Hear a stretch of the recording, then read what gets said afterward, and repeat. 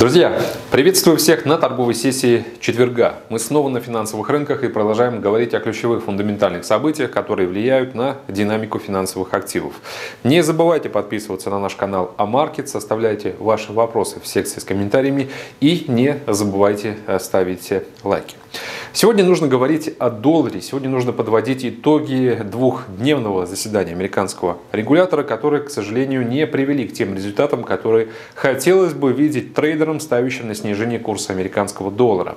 Но рынки зачастую устроены так, что трейдеры не всегда получают то, на что рассчитывают. В целом, вчерашний день начали за здравие, но кончили за упокой. В рамках азиатской торговой сессии мы действительно увидели, как доллар поджимали. фактически по индексу американской валюты было значение минимальное 90-12.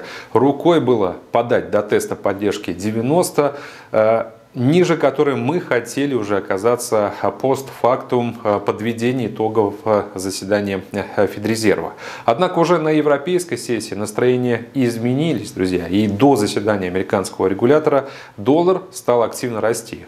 Укрепление позиции доллара привело к распродажам рисковых инструментов. Причем сейчас, когда по прошествии фактически целого дня есть возможность проанализировать общий новостной фон, можно сказать, что повышенный спрос на доллар доллар, он был обусловлен несколькими факторами.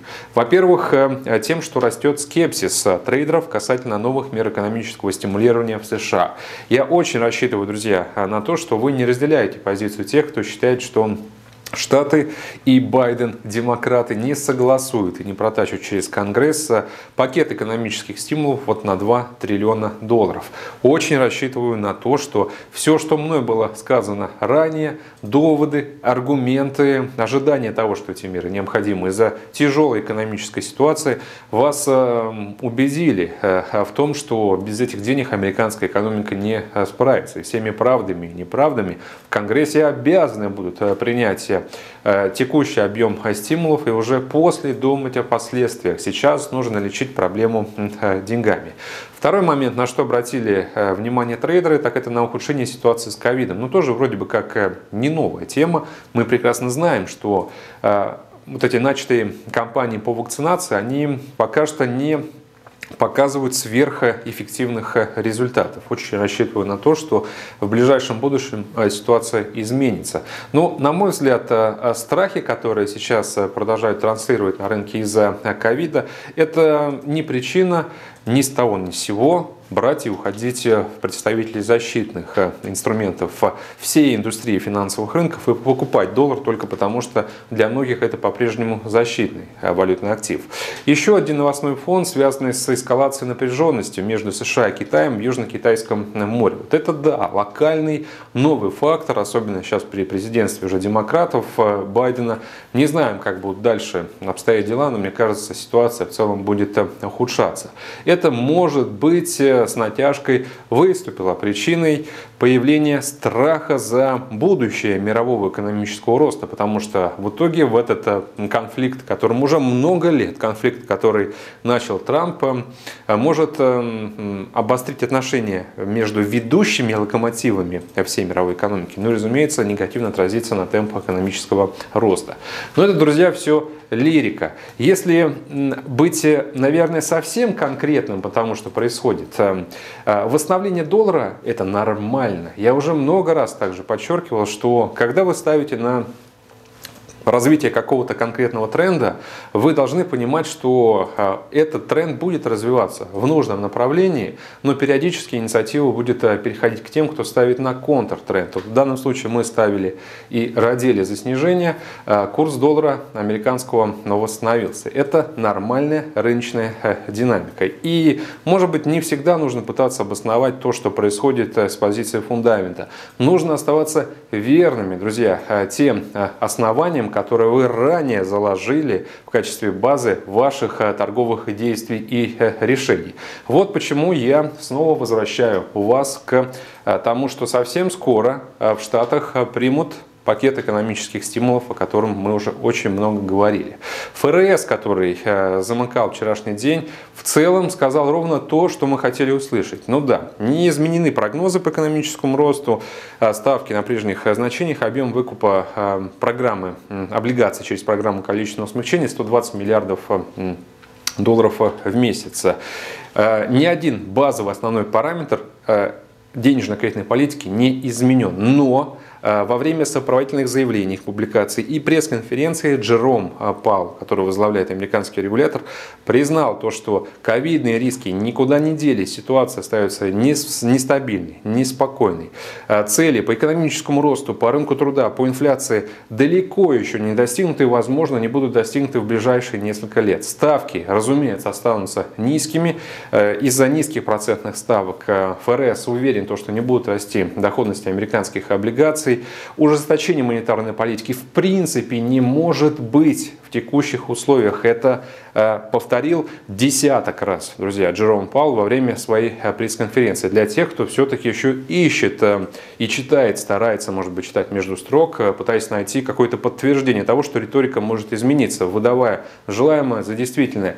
Политика будет мягкой. И если вам, опять же, нужна дополнительная установка того, что будет с долларом на перспективу ближайших месяцев, доллар возобновит свое снижение. Если будете интересоваться а, точкой зрения, например, ряда инвестбанка, вы получите тоже подтверждение, потому что, ну, другой точки зрения сейчас а, с учетом фундамента быть э, не может. Решение, друзья, за вами. В итоге, если вы полагаетесь на фундамент, то тогда а, тот рост, который мы видим сейчас, он в принципе не должен вас пугать. Если вы же э, считаете, что доллар все-таки будет э, ну, расти, э, даже несмотря на то, что было отмечено, вам нужно принимать решение об открытии длинных позиций, но здесь я вас не поддерживаю. Сегодня два важных отчета. Годовые данные по ВВП и первичные заявки на пособие по безработице. Тоже по ожиданиям, слабые цифры. Заказан товар длительного пользования вчера разочаровали. Очень скромный прирост на целых 0,2% с прогнозом на целых 0,9% а в прошлом месяце мы видели э, значение, по-моему, 1,2 процента роста. То есть макроэкономический фон ухудшается. Поэтому я э, рассчитываю на доп. денежные инъекции ликвидности, на сохранение стимулирующей э, политики Федрезерва и на снижение доллара. Золото 1838. Мы фактически по индексу американской валюты по золоту откатились на две недели назад. Ну, я думаю, что подождем немного, друзья, и уйдем к тем уровням, которые являются нашими целями. Это по э, золоту выше уровня 1850, по индексу доллара ниже 90 пунктов. Евро против доллара 1.21. Считайте, что вот откат в зону 1.20, 1.21 это супер возможность для тех, э, кто хочет э, провести крайне прибыльную сделку, потому что Э, думаю, что этот диапазон, который я только что назвал, идеальный для э, выкупа. По фунту 1.3670, три цели 1.38, 1.40, которые также не раз подтверждались инвестбанками. Bank of America рекомендует выкупать фунт на каждом снижении, потому что, судя по всему, фунт э, по динамике и волатильности может стать одним из главных бенефициаров вот этого понижательного давления на доллар. Биткоин 31 тысяча локально вчера видели даже в районе тридцатки и ниже. Снова призываю тех из вас, кто интересовался крипто и хотел купить, посмотрите на текущие значения. Может быть, это оптимальная точка входа. Доллар канадец, у нас длинная позиция сохраняется, мы все ближе к цели 1.30, текущие котировки 1.28-24, то есть фактически 180 пунктов и будет нам планка, которая ранее была заявлена. И нефть 55.27, э, лонг сохраняется, Ливия, Ирак, все это причина опасений за падение и сокращение предложения. И вчерашний отчет по запасам, минус 9,9 миллиона, друзья, существенное сокращение. Это для тех, кто все-таки верит в восстановление мировой экономики, по идее э, спад и снижение запасов – это доказательство повышенного спроса. Короче, по нефти лонг, я думаю, что 58 и даже выше мы реально сможем увидеть. На этом, собственно, все. Хорошего вам закрытия недели, текущей торговой сессии. Если есть вопросы, как я уже отметил, обязательно пишите в комментариях. Всем пока!